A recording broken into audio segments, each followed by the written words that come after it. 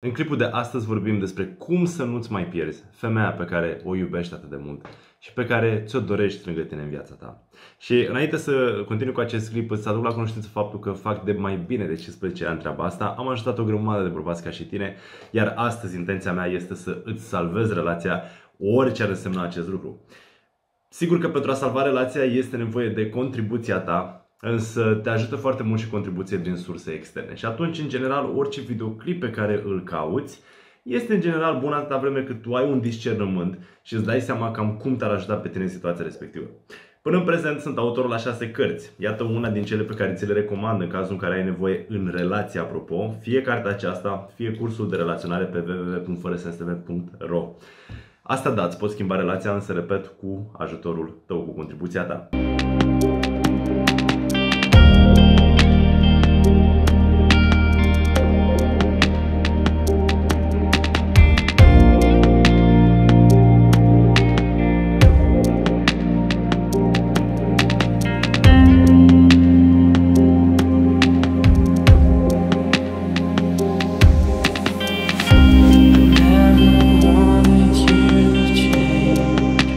Decis să începem acest clip cu, în primul rând, identificarea motivului despărțirii sau pierderii persoanei iubite. Și anume, mai degrabă să le dăm seama dacă este cumva din vina ta pe bune treaba asta sau este pur și simplu o decizie pe care ea a luat-o sau la care a ajuns în timp datorită unui lucru care i-au plăcut sau nu. Oamenii până la urmă sunt schimbători și o să vezi că stai o viață întreagă cu o persoană și s-ar putea să descoperi că nu știai nimic despre ea. Așa că vreau doar să fii conștient de treaba asta înainte să te blamezi pe tine și înainte de altfel să o blamezi și pe ea. Uh, la coaching eu explic mai multe despre care e toată treaba asta când noi aruncăm cu degetul în afară și mai exact când nu vrem să privim înăuntru. Însă aici o să vorbesc la general pentru tot omul să înțeleagă foarte ușor să digere informația într-o manieră plăcută. Și acum aș vrea să trecem să intrăm în pâine, cum s-ar spune, și unul din motivele pentru care pierzi femeia pe care o iubești s-ar putea să fie datorită faptului că sunt niște cuvinte aruncate acolo care nu își aveau rostul, cuvinte urâte, cuvinte poate deplasate, care până la urmă fac persoana să se îndoiască foarte mult de ceea ce aveți voi împreună și mai exact de omul care e lângă ea trebuie să te gândești puțin dacă undeva i-ai vorbit urât, dacă undeva ai făcut o glumă proastă, că lucrurile astea contează foarte mult și conduc la îndepărtarea în relaționare. De altfel, oamenii nu prea înțeleg o chestie și astăzi ai tot felul de persoane care își dau cu părerea pe internet despre cum ar trebui să fie o relație, însă în momentul în care ești într-o relație monogamă de exclusivitate, cum probabil uh, este a ta, trebuie să-ți dai seama că din momentul ăla Oamenii se așteaptă la chestia asta. Persoana pe care o iubești și care te iubește se așteaptă la această exclusivitate. Prin urmare, ori de câte ori îi dai motive de îngrijorare, acest lucru va face ca relația să uh, devină tot mai fragilă și ulterior să se spargă în mii de cioburi pe care tu acum cauți să le pui la un loc. Însă e mai greu.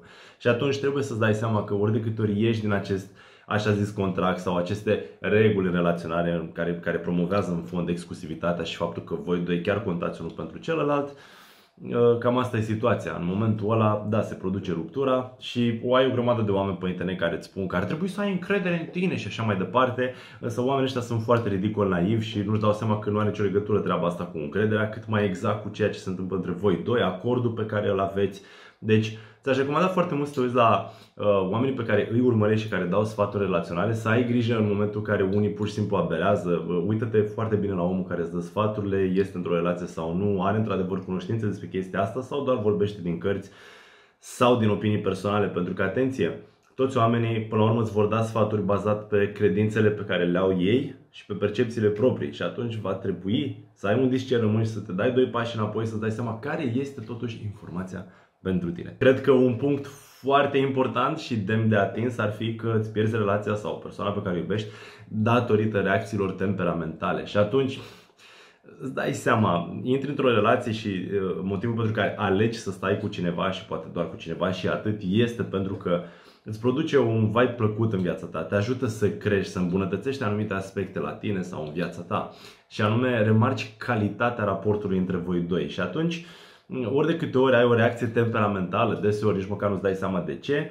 este pentru că ai niște chestii în fundal pe care poate nu le-ai rezolvat, sunt anumite lucruri care te trigăruiesc, te declanșează în momentul în care partenera le face Și trebuie să-ți dai seama că aceste reacții, încă o dată, sperie omul de lângă tine, întrerupe acest raport calitativ bun între voi și naște acea îndoială. Deci, într-o relație, dacă nu există încrederea, nu prea există altceva. Și acum atenție, că o să apară ipocriții internetului care o să-ți spună ție că într-o relație este nevoie de comunicare. Că dacă aveți comunicare, totul merge excelent. De parcă societatea asta știe să comunice. Uită-te în fiecare zi când mergi pe stradă că 90% din oameni acționează dintr-un loc al fricii. Doar din teamă se acționează și doar asta se promovează azi în societate. Limitarea, izolarea, faptul că relaționarea nu ar trebui să existe, au apărut așa zise feministe care și asta au doi la viață. Și atunci trebuie să-ți dai seama de chestia asta. Lumea începe să fie tot mai împotrivă a ceea ce ar trebui de fapt să existe bunătate, relaționare, voie bună, dragoste. Pentru asta am fost lăsați pe pământul ăsta. Atunci, din păcate, într-o societate care generează și promovează în fiecare zi această izolare și mai exact promovează consumerismul. Am ajuns să, uh, nu știu, să rupe un tricou, lei îl arunci, știi? Zici, bă, și așa e 50 de lei, 100 de lei, mă duc că mi-au altul, nicio problemă. Dar toate acțiunile astea pe care le facem în general promovează foarte mult consumerismul. Adică inconștient nu ne dăm seama, dar ajungem să fim dispuși să plecăm foarte repede, să dăm drumul lucrurilor, să le înlocuim și atunci nu ne dăm seama, dar toate aceste mici acțiuni conduc la acțiuni mai mari și conduc la momente în care noi găsim o persoană pe care o apreciem foarte mult sau ne place sau ne dă o stare de bine, iar noi pentru cel mai mic uh, lucru care nu ne-a plăcut, suntem în stare să-i dăm cu piciorul, să le eliminăm din viața noastră, să spunem, a, oricum mai găsesc pe altcineva, sunt o grămadă de femei pe lumea asta, însă, nu uita cât de greu ai găsit totuși femeia asta care ți-a plăcut foarte mult, cu care te-ai înțeles foarte bine și cu care ai ajuns la o colaborare extrem de frumoasă ca și, uh, ca și cuplu. Și atunci nu te gândi o secundă că îi dai ei cu piciorul și găsești imediat ceva frumos.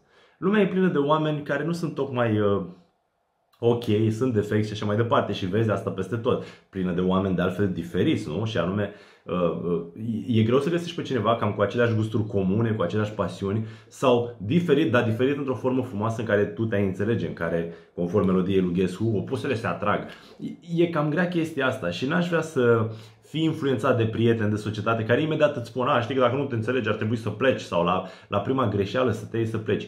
Se promovează foarte mult renunțarea aceasta datorită consumerismului. Dăm cu piciorul foarte, foarte ușor. Și atunci ar trebui să ne întrebăm oare câtă demnitate sau integritate avem, oare cât de mult am iubit persoana aia pe cât uh, ne lăudam noi pe social media, în momentul în care suntem dispus să o eliminăm din viața noastră în felul acesta.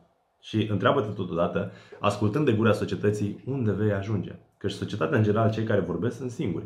Sau sunt într-o, într-o relație cu ipocrizia ca, cum să spun, ca talisman în casă, ca talisman norocos. Și atunci fii foarte atent la cine îți dă sfaturi, fii foarte atent la ce anume te îndrumă. Dacă am vorbit de anumite reacții temperamentale, am vorbit de cuvinte urâte și așa mai departe, hai să nu uităm să subliniem totuși gesturile deplasate.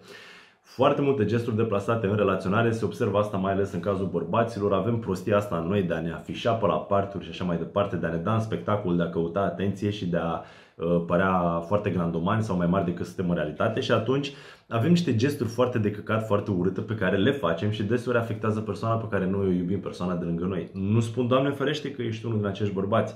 Spun doar că există foarte mult și am fost și eu unul în trecut care am avut gesturile astea de căcat până cineva m-a, m-a tras de urechi și mi-a zis, bă, stai așa, o leacă.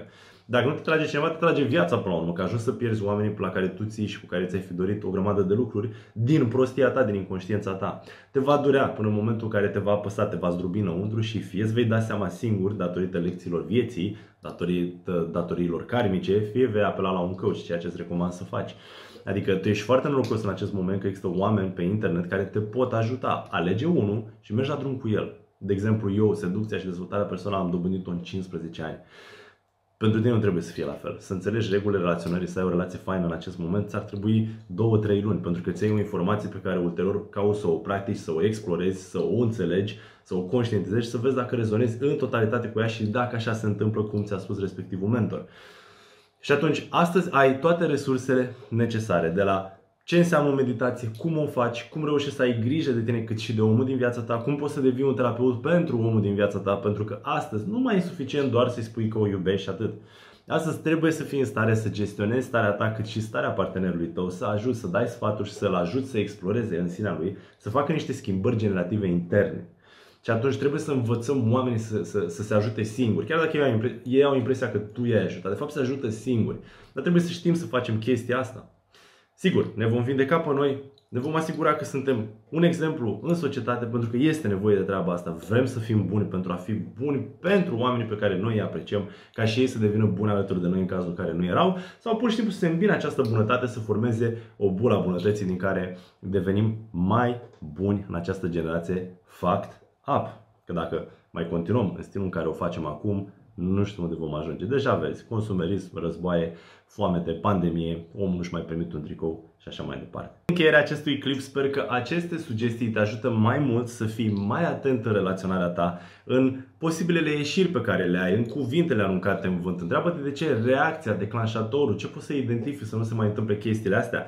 Dacă ele sunt, nu te împotrivi, dă-le voie să fie, însă întreabă-te de ce apar, care sunt motivul pentru care tu uh, apelezi la aceste mijloace de comunicare, din păcate, eronată. Totuși, ea spune ceva despre tine, există o durere, există o neînțelegere, există ceva ce ți-ai dori, fie de la tine, fie de la persoana de lângă. Nu căuta să te ascunzi cum fac majoritatea, nu căuta să fugi, nu căuta să-ți spui în sinea ta, mamă, cât de greșit sunt.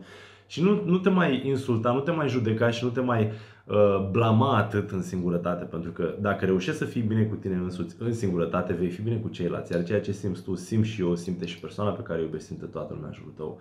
Așa că, acestea fiind spuse, nu pot decât în încheiere să-ți recomand să arunci o privire pe website și te rog tare mult, din toată inima, dă un like la acest videoclip, mai ales dacă ai stat până la final. Mă ajută să ajung la alți bărbați ca și tine, care poate aveau nevoie de un mix sfat acolo să își îmbunătățească relația. Și în continuare te aștept la un coaching, îți recomand cu toată inima, iar dacă financiar este o problemă în momentul de față, nicio problemă, ai o carte, ai un curs, dar fă ceva care te-ar putea ajuta în final decât să stai în singurătate în suferință sau să-ți spui, a, eu oricum n-am o relație, las că o să mă duc la timpul ăla. Informează-te de pe acum ca să nu treci prin durerea aceea.